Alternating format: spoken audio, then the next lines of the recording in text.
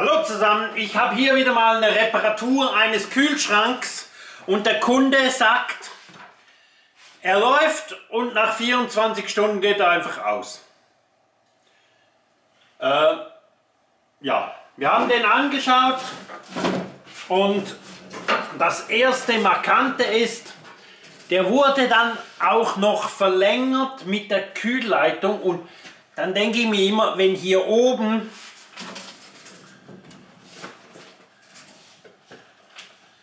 die Leitung so dick isoliert ist, dann hat das ein Spezialist gemacht. Weil wenn hier jemand so dick isoliert, wieso isoliert jemand, weil es hier vereist? Und auf dieser Leitung darf, auf, auf der ganzen Leitung bis zum Kühlaggregat, darf kein Eis entstehen. Wenn hier auf dieser Leitung Eis entsteht, ist zu viel Kältemittel drin. Wenn zu viel Kältemittel drin ist, vereist es hier, es kühlt hier auf der Leitung und das ist eigentlich das falsche Ort. Kühlen muss es im Kühlschrank. Und dann braucht auch dieser Kühlschrank zu viel Strom, weil er halt durch am falschen Ort kühlt. Wir haben jetzt ziemlich Kältemittel abgelassen ja, so, dass noch genügend drin ist. Und dann schauen wir uns das hier an. Und hier eine Datenaufzeichnung. Ja, ich kann den auch abhängen. Wir sehen jetzt hier, wie er gelaufen ist. Hier morgen kurz abgehängt. Äh, er läuft schön über mehrere Tage durch, also gestartet am 26.02. läuft er jetzt hier auf Maximum um die 1 Grad, also nicht, dass er nach 24 Stunden plötzlich aussteigt. Warum dieses Aussteigen? Wenn ja dieser Kompressor zu viel Kältemittel drin hat, weil ein Spezialist das gemacht hat, äh, dann habe ich einen zu hohen Druck auf dem Kühlsystem und dann kann der Kompressor nicht mehr starten. Dann muss die Spannung noch ein bisschen absinken und ich vermute, dieser Kühlschrank hat zu wenig Spannung und ihr wisst, drei Sachen brauchen Kühlschrank. Das eine ist ein bisschen Pflege, das wäre super. Zweitens, er braucht Luft.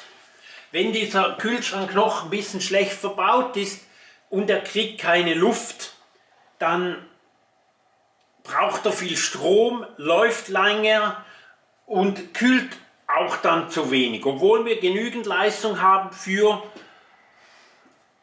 solch eine Größe Kühlschrank. Und dann das dritte ist, er braucht Strom. Schaut wegen Spannungsabfall, wie viel Spannungsabfall hat ein Kühlschrank?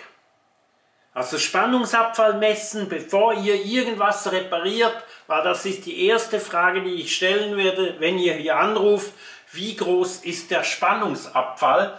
Das heißt hier auf 12 Volt, oder dann gucke ich mir diese Drähte an, das ist irgendwie 1,5 Quadrat Kabel und dann schaue ich schon weiter, wie dick ist hier die Zuleitung, wie lang ist die Zuleitung und messe ich hier an 12 Volt, wenn der Kompressor steht und dann messen, wenn er läuft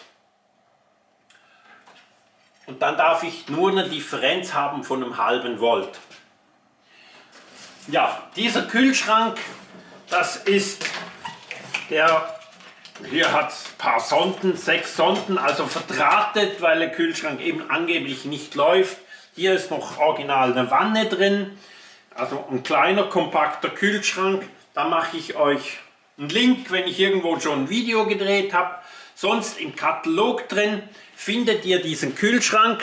Das ist der 47 Truck, weil ursprünglich kommt dieser Kühlschrank aus dem LKW-Sektor, wurde original bei ähm, Volvo verbaut und original seht ihr hier, dass das Kühlaggregat hinten dran hängt.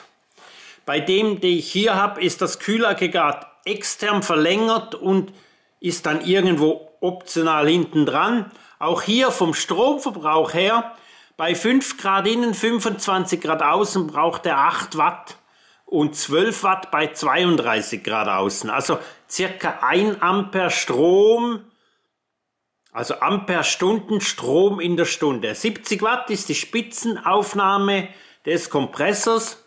Die Maße habe ich hier unten natürlich auch hier. Das ist der aktuelle Katalog und hier gibt es auch Optionen. Wir haben 230 Volt, Vorrangschaltung, Kupplungen für externes Aggregat und längere Leitung. Bei diesem Kühlschrank haben wir hier 230 Volt. Das habe ich dann hier so einen Stecker dran. Hier ist jetzt ein Schweizer Stecker dran. Original haben wir heute ein Euro-Stecker, also zweipolig. Und was nicht auf, und eben die längere Leitung,